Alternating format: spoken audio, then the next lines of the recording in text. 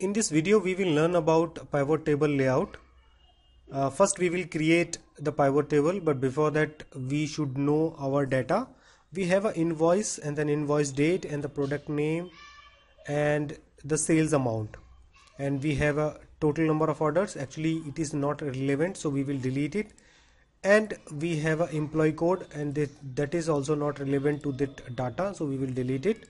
And now we have a invoice numbers the date and the name of item and the price. And now we want to create a pivot table in which we can see the invoice number date and the total of the invoice. So first we will create the pivot table by clicking insert and the pivot table and then we will move to the new worksheet and we will press ok. Now we have a pivot table on the left hand side of the worksheet and the right hand side we have a pivot table field pan. Now we will move the invoice number to the rows and the date and then product.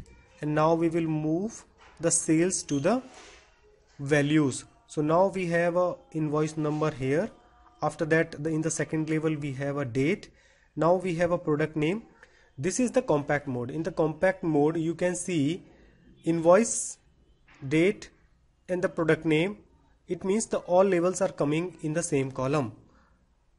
And if you click on the outline form each label is moved to the next column.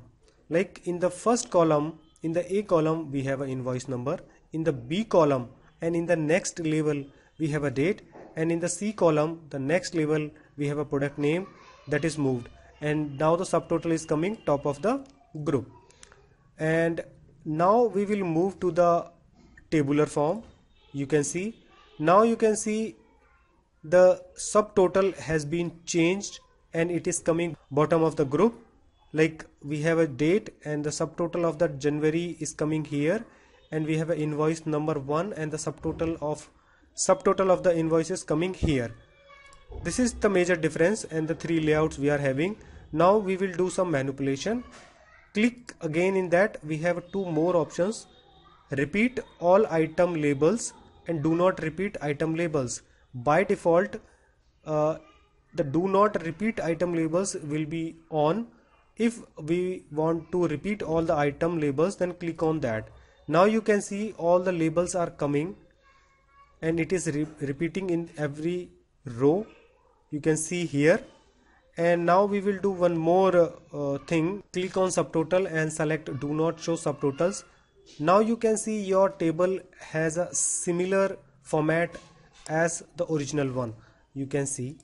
If you want the total only then remove the product because these are repeating again and again. So if we will remove now we have a subtotal I mean the total of invoice wise and the date and that subtotal so like that you can manipulate with the data. As per your requirement you can manipulate again. You can put your product here. You can see completely. So this is the option of report layout